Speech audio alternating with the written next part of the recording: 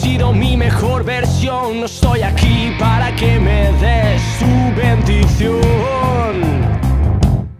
Quizás es que se